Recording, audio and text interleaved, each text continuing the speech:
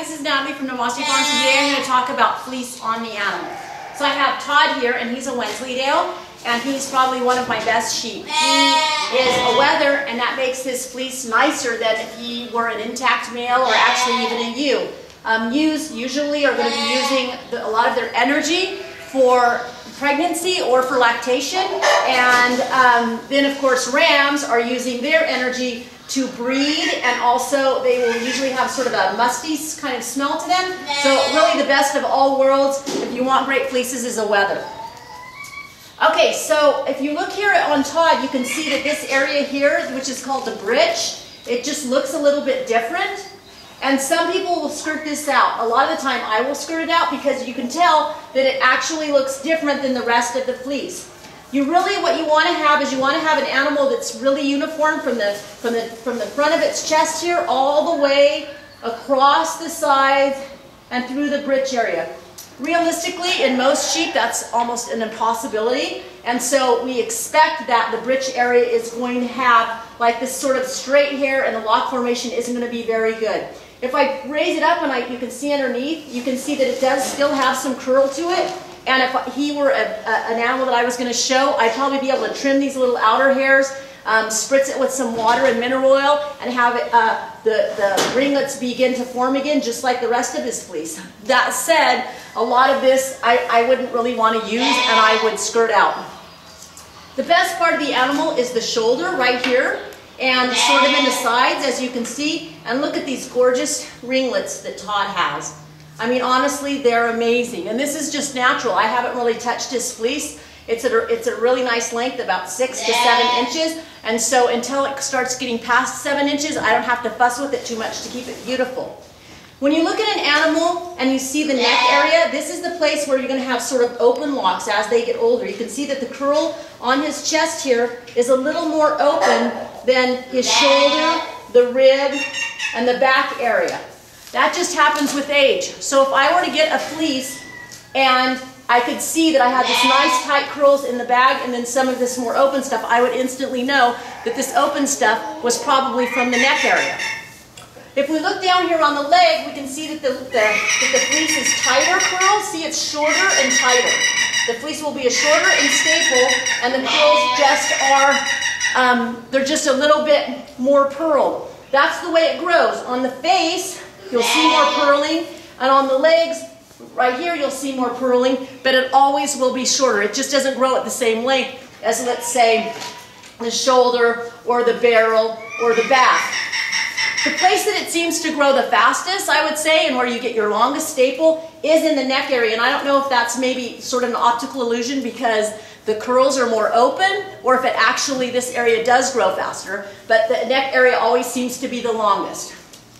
So if you were to purchase a fleece and you looked in the bag and you saw that you had a bunch of beautiful ringlets, but then you had some stuff that looks kind of smashed, see how it looks kind of smashed all the time?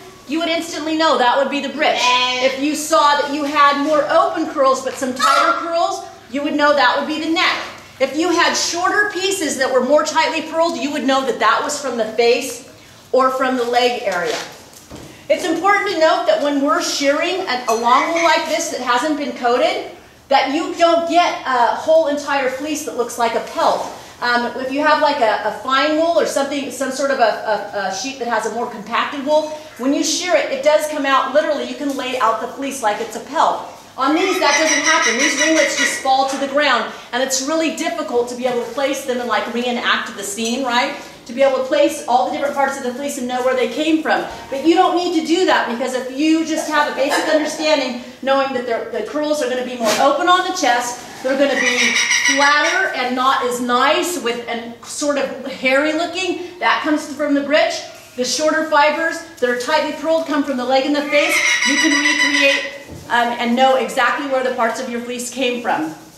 In a few minutes, I'm going to take you up and I'm going to show you a fleece out of the bag and we'll sort of demonstrate that. Okay, now I'm going to take these bags and I'm going to show you in here how I'm just going to dive in and figure out what part of the body the fleece came from. If I look in here, I can see instantly that this open fleece here came from the neck. I just know that because I look at the rest of the fleece and it's more tightly curled. Can you see? Instantly I know it has to be from the neck.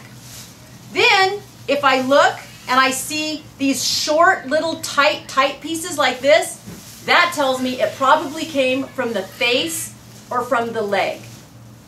If it came from the leg, normally it's going to be a lot more dirty because it, they will have been laying on their legs. They fold their legs underneath their body and that's what keeps them off the ground. And so it'll be much more discolored. So if I wanted to actually know what where this came from, whether it be the leg or the face, I'd go through this whole fleece and I would look to see um, if I had other pieces like this that were super, super dirty, and then I would assume possibly that that came from the leg and this came from the face. So when I go through this, when you get a fleece and it's the entire fleece, every once in a while you're going to do, you're going to get what's called tags. And in this fleece, there, there aren't any. Every, you know, you don't want tags, obviously. But every once in a while, it will happen. I mean, we're human. We're not perfect skirters, right? This kind of stuff normally a person would skirt out. I know that this came from the tail area because it has urine stains. Dirt stains and grass stains don't look like this. This is definitely urine. If I pick this up, I can clearly see here's more neck. You can just tell. Look at the way these look at the way these curls are. See how open they are? Clearly this is from the neck. If I grab this and I show you this fleece part, this is probably from the shoulder or from the sides. My favorite part. If you want doll hair, you don't mind having it come from the neck because people that want doll hair normally want things that aren't super tightly curled. And so sometimes you can have an animal that's just a little bit older, and while most of the body is too tight for doll hair people, often you can just sell the neck portions as doll hair. So coming over here and looking at a sheep fleece, because this was mohair, so this was from a goat, instantly I see a piece that I can identify as the britch. See this piece, how it's really flat? I told you they look kind of flat. The britch always looks flat and sort of hairy. This part I would normally try to skirt out. When looking over here at these portions, I can feel this is so incredibly filled with lanolin. Has a beautiful handle. I'm going to assume that this is going to be the shoulder or the side portion. Let me move my, this cat, I'm telling you, they love fleece. They love dirty fleece. Okay, let me grab over here. Okay, I can see here some discoloration and the fleece is not as good as the shoulder. It's not as bad as the britch, but it does look sort of flattened. I would say that this is probably getting towards the britch. Or maybe it's on the very, very hind quarters of it, like the tail portion, right before you hit the tail on the top, on the very top of the rump where the pins are. That's what I would say about this part of the fleece.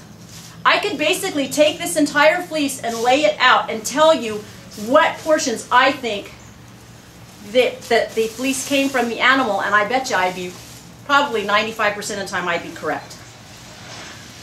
Here, you can see these little pieces. I'm, I'm like a thousand percent sure that this came from the face. See how it's tight, it's really short and it's got tight purling? Definitely from the face of the legs. And a lot of the time, based on what kind of breeds you have, you know if it came from the legs. For example, if I have a blue-faced Leicester, they don't have any belly wool, which you shouldn't be getting anyway because that should be skirted out. But they don't have any belly wool and they don't really have any leg wool. So I would know if I had a piece like this that it probably came from the top of the head, you know, or the maybe right at the very, very, very point of the skull because they don't have any facial fleece and they don't have, have any leg fleece. So part of it is knowing what breed you have, knowing where they grow fleece, and then just trying to like reenact the crime.